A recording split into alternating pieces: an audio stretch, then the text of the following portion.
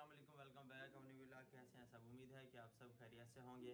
मेरी दुआ है कि हमारे देखने वाले जहाँ भी रहें, हमेशा खुश रहें और सब पर अल्लाह पाक का खास करम हो इसी दुआ के साथ अपने आज के व्लॉग का करते हैं आगाज़। जी, माशाल्लाह से आज सुबह मौसम बहुत ही मज़े का बना हुआ था। ठंडी ठंडी हवा चल रही थी, काले सिहा बादल छाए हुए थे, लेकिन उसकी थोड़ी देर बाद बहुत तेज़ बारिश हुई है। मुसलसल दो घंटे बारिश होती रही है और तूफ़ानी बारिश, बहुत तेज़ बारिश हुई है। इतनी बारिश हुई है कि गलियाँ और सड़कें छुप गई हैं। पानी से हर जगह सारा ऊपर नीचे पानी ही पानी है। मैंने छोटा सा क्लिप बनाया है जब बारिश हो रही थी। वो भी आपके साथ शेयर करते हैं।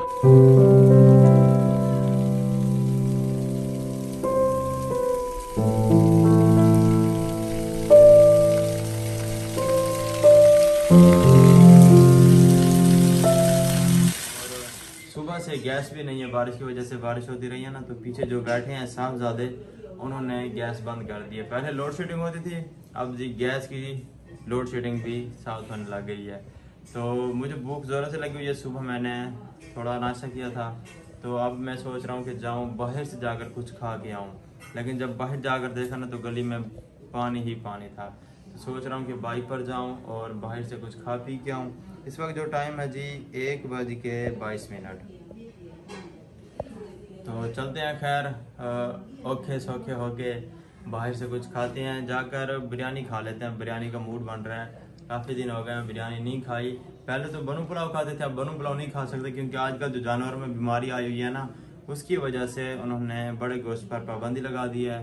तो अब भाई साहब मटन की बजाय चिकन यूज़ कर रहे हैं क्योंकि हुकूमत पाकिस्तान ने पाबंदी लगा दी है बड़े गोश्त पर। ये जी बहुत अच्छा हुआ है और मैं दूध लेता था मैंने दूध लेना भी बंद कर दिया है। इसी वजह से कि वो बीमारी सुना है कि जानवरों से इंसानों में मुंतकिल हो रही है। अल्लाह पाक रहम करे अल्लाह पाक सबको अपने अमान में रखे। आमीन। तो छोटा से ज़्यादा बाबा मेरा सो रहा है अभी। वो जब उठ जाएगा फिर उसके साथ भी गपशप करेंगे।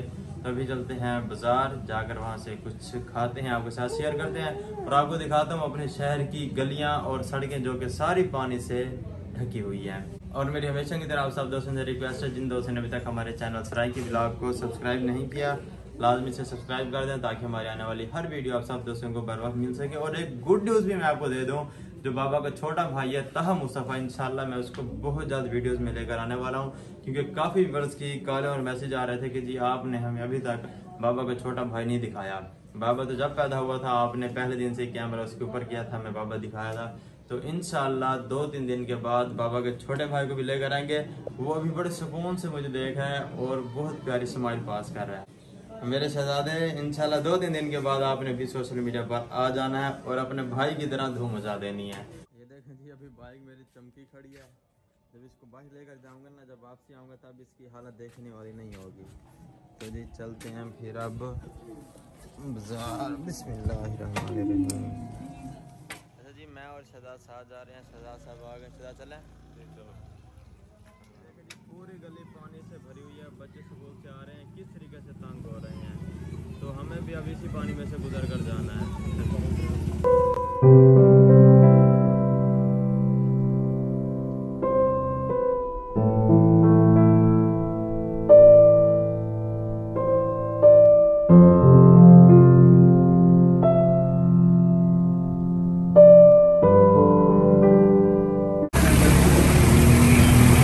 दुआ करो बाइक बंद ना हो हमारी। अल्लाह खैर करेगा। इतना ये देखो पानी जा कैसे रहा है स्पीड से। हाँ। हाँ भाई। कल भी लिखा भाई हाँ?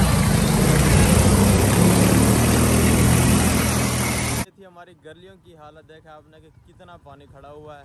और ये पीछे भी देखें ये सारा तालाब पानी से भरा हुआ है। रोड के ऊपर भी सारा पानी ही पानी है। और एक तो बारिशें बहुत हैं और दूसरा दरिया सिंध में पानी भी बहुत ज़्यादा है। सैलाब आने का बहुत ख़तरा है। तो दुआ करें कि सैलाब ना आए अल्लाह पाक बुरी आफात से बचा कर रखे।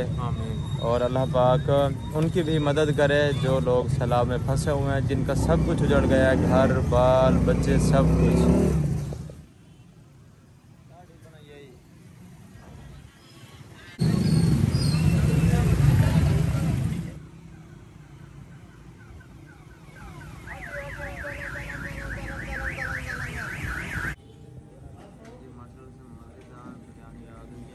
बिरयानी आ गई है नाशिदा साहब जी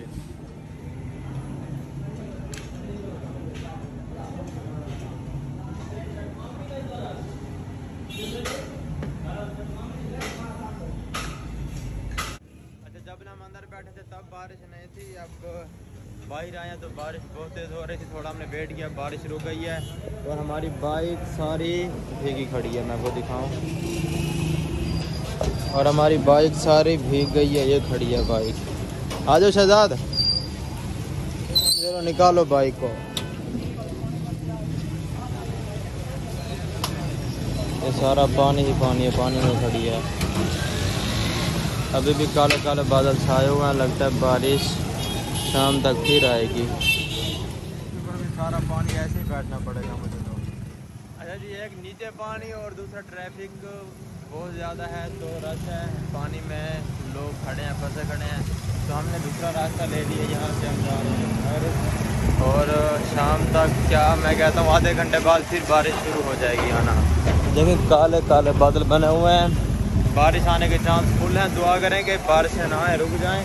अगर इसी तरह बारिश होती रही ना तो सैलाब पक्का आएगा सारा पानी ही पानी है ओए होए आराम से आराम से चलो आराम से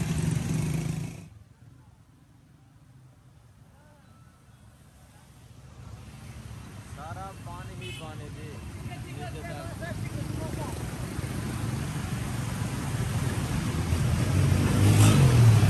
अल्लाह खैर ही करे। पीछे देखें, सारे लोग कितने। चलो भाई बंद हो जाएगी हाँ ऐसे। अच्छा मैंने जैसे ही घर आया हूँ मैंने बाइक का हॉर्न दिया तो ये ज़्यादा भागता हुआ मेरे पास आ गया है और कहता है, बाबा, मुझे आगे बिठाओ। बाबा हॉर्न डे दरवाज़ा खोलें। हॉर्न बजाओ। पाली दो मुझे। पाली दो। बस बस पाली दो मुझे पाली दो। सही हम्म। बाबा हक करो मुझे। बाबा हक करो। हम्म, ये जी हक हो रहा हमारा। अच्छा भी मुझे तारिक भाई ने कॉल की है कि जो आपने न्यू घर लिया ना उसका गेट खोलो मैंने गाड़ी इधर खड़ी करनी है। वो गए थे आज मुल्तान और बारिश फिर से शुरू हो गई है आना। देखो सारा पानी ही पानी है गलियों में। और तारिक भाई भी आए खड़े हैं। चाबी मैंने उठा लिया मकान की। तो चाबी मैंने उठा लिया मकान की जाकर गेट खोलते हैं और तारिक भाई गाड़ी वहाँ पर खड़ी करते हैं। ये मैं आपको गली दिखाऊँ, जिस रास्ते से मैंने गुजर कर जाना है। ये जी रास्ता है, देखें, सारा पानी पानी, यहीं से मैंने होके जाना है।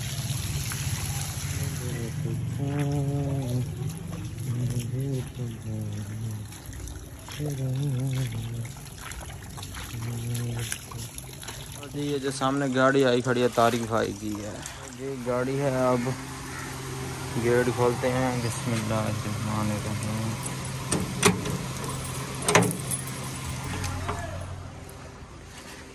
इसको खड़ाते हैं यहाँ पर। फिर ये वाला ताला खोलते हैं। पहले इसको बंद कर दें। इसकी की है जी? ये वाली। बिस्मिल्लाहिर्रहमानिर्रहीम रुक जा।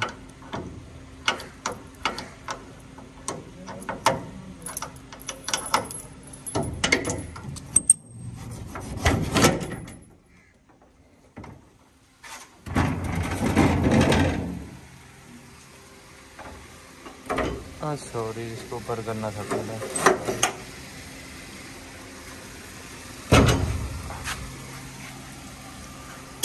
देखें जी, मैं आया ना काफ़ी दिनों से, इसकी भी सफ़ाई करवानी है। सारा इस गाड़ी के ऊपर भी पानी पानी, रास्ते में बारिश होती रही है। मुल्तान बारिश ही भैया? खोल रही? अच्छा मौसम की में आई था? अच्छा देखें इधर अभी भी काले स्याह बादल बने हुए हैं। लगता है फिर बारिश आने वाली है। ये जी माशाल्लाह से हमारा शहजादा बैठा है। बाबा मुझों को बाटे चा ये जी मूछों को ताव दे रहा है माशाल्लाह मैं सदके मैं सदके। ये बताओ किसके बेटे हो? दादा। और जिंद किसकी हो? दादा। जिंद भी बाबा की हो? अम्मी के नहीं हो? हैं? दादा। अम्मी की? दादा। अम्मी की जिंद बन जाओ। दादा। बाबा की? अच्छा अम्मी ना इसको बार बार कहती है कि मेरी जिंद कहता नहीं बाबा की। किसकी जिंद हो? दादा अम्मी की बन जाओ ना। बाबा। अम्मी की। बाबा। अम्मी। बाबा। किसकी जिंद हो? बाबा। अम्मी की बन जाओ। बाबा। यार अम्मी की बन जाओ ना। बाबा। कहता है बाबा वो बेटे किसके हो? बाबा। बाबा के हो। बाबा को पाली दे दो। पाली दे दो ना बाबा को। मैं सदके हाँ तो बताओ तो अच्छा जी शाम का टाइम है और बादल बने हुए हैं बारिश अब रुक चुकी है लेकिन लगता है कि थोड़ी देर के बाद फिर से बारिश ने शुरू हो जाना है और सारी रात इसने बरस से ही रहना है। दुआ करें कि ये बारिशें रुक जाएँ और सैलाब का ख़तरा ताकि कम हो जाए। सैलाब आएगा और इतनी तबाही मचाएगा कि जिसका कोई हिसाब नहीं है। और जिन इलाकों में सैलाब है, अल्लाह पाक सैलाब जदगान की मदद करे और अल्लाह पाक हमें भी तौफीक दे कि हम वहाँ जाकर अपने मुसलमान बहन भाइयों की खिदमत करें और इस मुश्किल वक्त में उनका साथ दें। और अब मैं जा रहा हूँ बाज़ार। वहाँ से जाकर मैंने बाबा का और बाबा के छोटे भाई का दूध का डिब्बा लेना है जो कि ख़त्म हो चुका है। क्योंकि शहजादा रात को रोता रहेगा अगर इसको दूध ना मिला तो। बाबा इधर मेरे पास आओ। इधर आओ मेरा बेटा। बाबा ओए होए ओए होए ओए होए ओए होए ये क्या कर रहे हो बाबा? हम्म? अच्छा ये बताओ बाज़ार से आपके लिए क्या लेकर आऊँ? क्या? ये कह रहे जूस लेकर आओ। क्या लेकर आऊँ? अच्छा जूस। और क्या लेकर आऊँ? बाबा क्या? बल्ला। ठीक है और?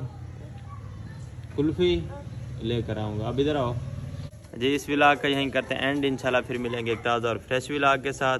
तब तक ये अपना बहुत सारा ख्याल रखें और हमें अपनी दुआओं में याद रखें। एक मुझे पाली दे दो। हग कर दो। हग कर दो हग मुझे। हम्म, इनको बाय बाय कर दो। अल्लाह हाफिज़।